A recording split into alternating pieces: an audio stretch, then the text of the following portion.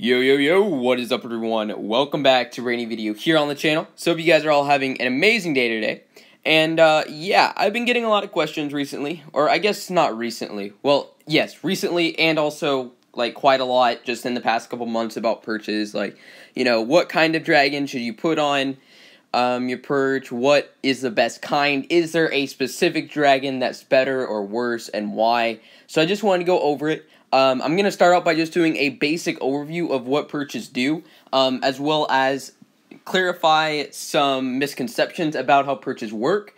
Um, so, first thing that I get asked is once a dragon perch is killed, so let's say they're attacking the base, and let's say you have a dragon here with gear on, right? If they kill this perch, do does the base lose the buffs? And the answer to that is no. So even if a perch is down, the Atlas, not the Atlas, the Rider's buffs and whatever gear you have will continue to benefit the towers on those particular islands. Because remember, they redid how perches work. So now perches only help. So if you click on a perch, this kind of helps you. Um, it shows you which islands the buffs actually help. Um, so for example, this Riverwatch perch only benefits this perch island and these two right here. This perch right here, the uh, Stones Pier perch, Stones Pier, what in the world? Stones Pair perch um, only benefits those two. And then you have Riverwatch, I believe, or sorry, no, Sea Gazer, um, benefiting these three. So keep in mind, let's say I, you know, have my best rider gear on this perch, and then all my kill stuff is here all that gear is not going to benefit these towers if it's on this perch. So keep that in mind.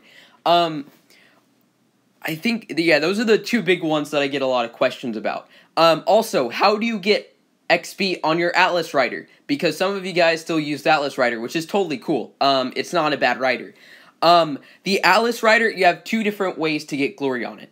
The very, very slow way, and not efficient, is defending your base in Atlas. So let's say you use a siege, not sieger, a um, rusher, and you go out and you put your Primarch on like an enemy castle or in no man's land, and someone attacks you, you defend, you get like 1k glory for like 7 7,500 troops lost.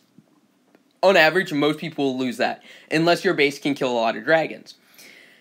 But that will take a lot of time because I take I think it takes like 300,000 glory uh, or something like that to like completely max out a rider. I think I might be a little bit wrong in that. It might be like 150,000. Um, oh no, sorry, it's 300 rider shards, 150 uh, something thousand glory. So that's a lot of freaking attacks, and that's a lot of troops. Or you can put, let's say, um, you want this guy. All right, this is no wait, that's not the. This is it. Um, so this is the rider. Let's say I put this rider on my Itzani. So I go out and I used my Sieger to hit other people with Itzani, which has the Atlas Rider, quote unquote, the defense rider on him. It will still give you glory to the defense rider if your defense rider is on a dragon that you're using to attack someone in Atlas. I made videos on how to get glory in Atlas if you uh, need help with that. Uh, it's, it's just on my channel, or just search up how to get glory war dragons, and either my video or someone else's will pop up, and that should help you with that. So yeah, you just get glory like that. Um, that's the most efficient way. Just use it um, like any other rider. Just put it on attack dragon and go attack some people with the sieger. Pretty pretty simple. Okay, so let's see about this. Now these are the most important things to remember. Um, whenever you're looking at the perch, keep in mind each of the three different dragon types give different buffs. Um, and this is where I have my own opinion on why I think this is the most beneficial. Uh, when people ask me what kind of dragon to have on their perches, I say warrior 100% of the time. And I'll explain why in just a second. Okay, but anyways, um, really, ideally, you want a mythic dragon on your perch because you'll notice as we scroll down, the less the less um the lower rarity a dragon is, the less less buffs it gives. So for example, if we come here, these common dragons and these rare dragons only provide firepower. They do not give you any sort of actual buff besides that. So you can see right here, um, underneath the dragon, like XP bar, it says like 149k. Um, that is the amount of damage it will do whenever the perch dragon attacks a attacker dragon. Um, and then once you get into epics, they start giving out resistance. So let's say you have a dragon that is ice element or fire or wind or dark or earth. Whatever element it is, it will give resistance towards that particular element. So, for example, your Snoot is a dark dragon, so therefore he will give 10% dark resistance, which means it will reduce the damage that that dragon does because in sorry, it will reduce the amount of damage that tier of dragon will do um, if it's a dark elemental dragon. Now, once you get into legendaries, they start giving boosts. So, for example, warriors give out tower health boosts, 15%. Sorcerers give out 15% super shot boost, and I'll explain that in just a second. And then hunters give 10% tower attack boosts. Um, and I believe that is the same for like all tiers. Um, let me just make sure. Yeah, it is. Okay. Um, so warriors give out HP, sorcerers give out um, super shot, and then hunters give out attack. Now the super shot bonus is basically let me. It can be explained like this. So let's say you have this dark flak high damage and durability with short range. Basically, what it does is the super shot stuns dragon temporarily. Um, so the super shot bonus of 15% will increase the length of that stun. It basically just increases whatever the super shot does. So, for example, the farms, they heal. So it will increase the amount of stuff or amount of the health the um, farms will heal every single time they use a super shot um, let's say, you know, lightning tower, it will, inc- it will exponentially because, again, lightning towers can be ridiculous uh, whenever they're really high level. Um, adjacent tower bonus. So it will increase the amount of damage it does whenever there's multiple lightning towers on the same island. Um, and yeah, that's, that's basically it. So those are the different rarities. The final rarity is mythic, and this is obviously, I mean, it's, I mean, you would assume so.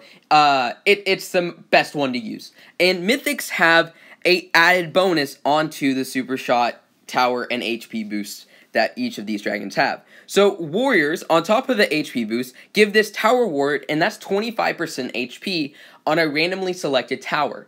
Now, I gotta say, if you get lucky, that 25% dragon H sorry, that 25% HP buff is so freaking ridiculous.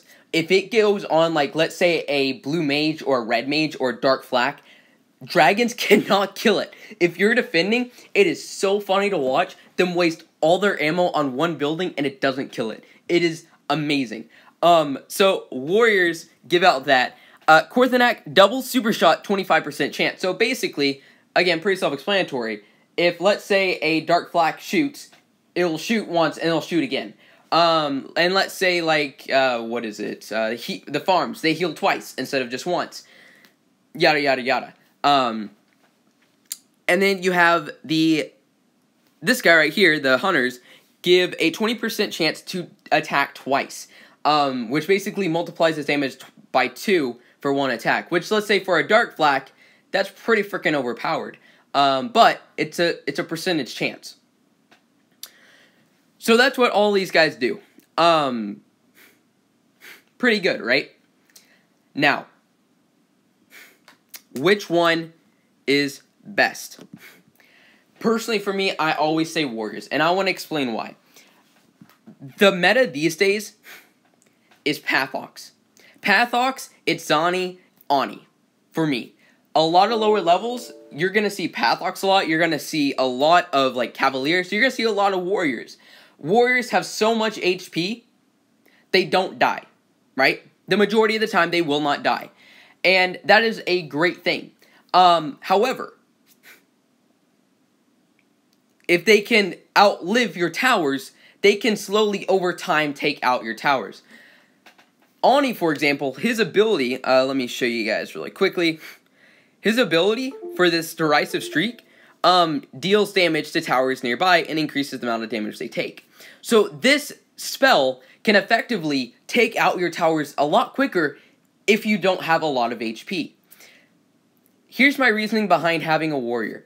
The warrior 15% HP buff plus that tower ward is great. But the real thing is that 15% increased HP because the longer your towers can survive, whenever someone is defending, if your towers can outlive the dragon, people can spam repairs and keep your towers alive. My towers have so much HP, uh, most people don't get by. Um, I have, I think twice have someone taken out my base completely uh, with me defending. Just one person defending, and I can show you guys screenshots. And the reason why is because I'm really focusing on increasing that HP. Because once you have enough HP, and there's people using warriors, they can't kill anything. Jotan and Ani both get 0% on my base. Um, if I'm defending, spamming repairs. If I was, let's say, using an attack buff, that's great and all. But if your towers die a lot faster, it doesn't matter that they do more damage. Because if they can't outlive the dragon, it does not matter. Um, so and keep in mind, for Pathox, attack really doesn't do a whole lot if he can take out your towers before he get comes out of that cloak. He can't kill my towers, for example. Again, I'm saying my towers as like showing you guys examples. Uh, or like explaining, validating my reasoning. Um, it can be anyone with good HP. Um, Pathox, if he runs out of his uh, white spell and he comes out and he hasn't killed anything, he's dead. You need HP for that. You want to have an anti-Pathox base, you build a base with a lot of HP. You don't really need attack. You just need HP. Because once you can kill him, sorry, once you can make sure that he can't kill any towers, he's screwed. Um, so for example, let me just let me just show you. Um, these are just some of my defenses. Ani, Jotan, and Itzani this guy, and this is not me defending. This is just one defender. He isn't even spamming super shots. So nine nine percent, sixteen percent. Let me find another one. Um, this one for example. This is again one defender. Whitzel, Ani, um, what's his face? Uh, Pathox. Again, the meta these days are a lot of um, what's it called? A lot of warriors. So you see right here, again, zero percent. Why? Because they can't kill anything. Oh yeah, I had one more actually. I'll just show you this one uh, before I forget. Uh, where is it? Where is it? Where is it? Um,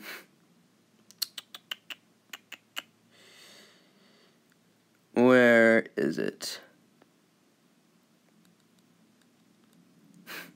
Is that it? No.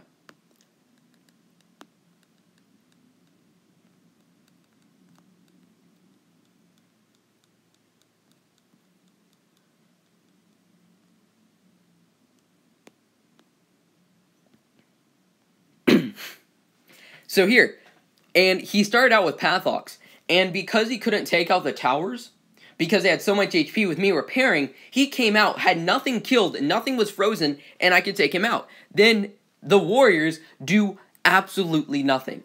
Um, and again, this does not, you know, it's not necessarily like specifically my base. This can be true for any base. Um, and that's why I say, that's why I say HP is the most important buff for your base. Period.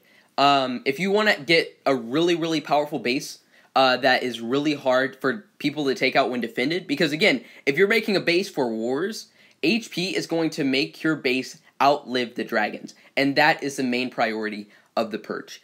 Um, and that is why I always use warriors. Um, so yeah. Anyway, guys, um, hopefully this helped you guys out. Hopefully answered some questions and all that. Speaking of leveling warriors. I just spent like a thing trash talking them. Don't get me wrong, undefended warriors are great. Defended, they get screwed really quickly. Um, so yeah. Anyway, guys, um, hope this answered some questions.